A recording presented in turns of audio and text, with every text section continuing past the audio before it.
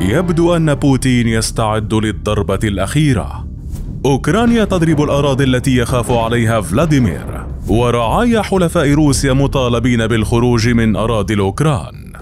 ضربات من كييف هي الأقوى منذ انطلاق الحرب وموسكو تستعد للرد المناسب. تسارع في الأحداث في الحرب الروسية الأوكرانية يجعل من جنون بوتين يتصاعد بسرعة. فأوكرانيا التي كانت تتلقى الهزائم والانتكاسات باتت اليوم تضرب القوات الروسية بقوة وتعيدهم آلاف الكيلومترات إلى الوراء. فماذا حدث في اليومين الماضيين؟ وماذا يمكن أن يحدث؟ في تطور جديد ومتصاعد على الأراضي الأوكرانية استفاقت القوات الروسية اليوم في مدينة بلغورود على أصوات القصف الأوكراني.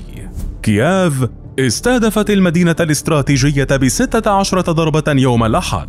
أدت إلى إصابات وتدمير بعض المباني.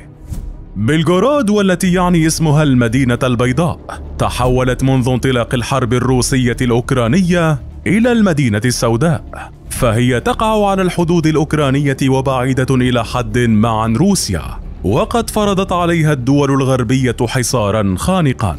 مع ذلك بقيت المدينة الروسية بعيدة بعض الشيء عن الحرب الدائرة على الأرض الأوكرانية. لكن أوكرانيا وبعد تقدمها في شرق وجنوب البلاد تحولت للخطة التي تقوم على أساس ضرب أي مناطق تتواجد فيها القوات الروسية. وذلك كما حدث في شبه جزيرة القرم والتي استخدمت القوات الأوكرانية صواريخ هيمارس لضربها. استهداف أول لبلغوراد. ثم ثان قبل أيام يبدو أنه أشعر الروس بالقلق. كييف قالت إنها استهدفت المطار الدولي في المدينة. في حين قالت موسكو إنها أحبطت الكثير من الهجمات ضد بلغوراد. لم يكن قصف بلغورود التطور الوحيد على الأرض. ففي ظل التهديدات النووية وتصاعد الهجمات الأوكرانية ظهر تطور آخر يرتبط بحلفاء موسكو بشكل مباشر الذين طالبوا رعاياهم بمغادرة أوكرانيا على الفور.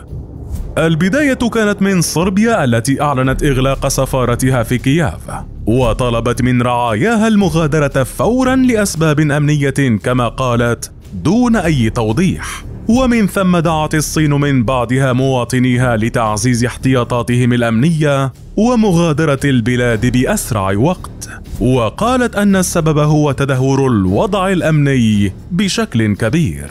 كما حذرت سفارة كازاخستان في أوكرانيا مواطنيها من السفر إلى كييف في الوقت الحالي.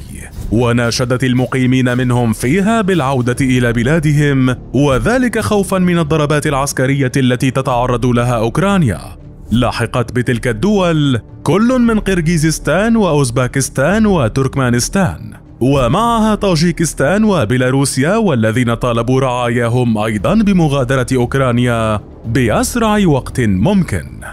الطلبات من تلك الدول قد يراها البعض عادية للغاية لكنها في الواقع يمكن القول أنها بتنبيه من روسيا. حيث يجمع تلك الدول كلها أنها من حلفاء موسكو الأساسيين وقد أعادت التذكير بتهديد سابق لفلاديمير بوتين. قال فيه أنه سيستخدم السلاح النووي في حال تم استهداف أراضي بلاده وبطبيعة الحال تعتبر بلغورود جزءا من الأراضي الروسية بشكل رسمي ما يعني أن استهدافها حتما آثار غضب بوتين الغاضب في الآونة الأخيرة من الانكسار السريع لجيشه. هجوم بلغورود وطلب الدول من رعاياها مغادرة أوكرانيا. يتزامنان مع معارك طاحنة في مقاطعة خيرسون التي تقبع تحت السيطرة الروسية حيث بدأت القوات الأوكرانية هجوما موسعا ضدها منذ أيام.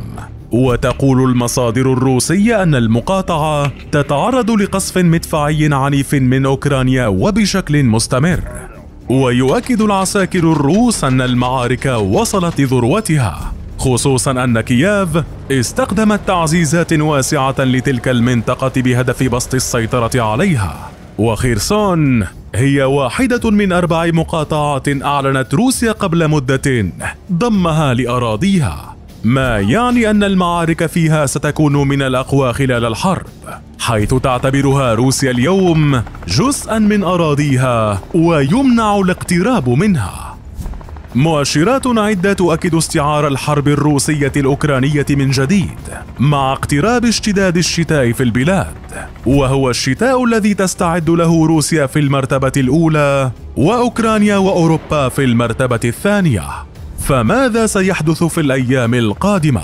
حرب نووية أم انتصار أوكراني ساحق؟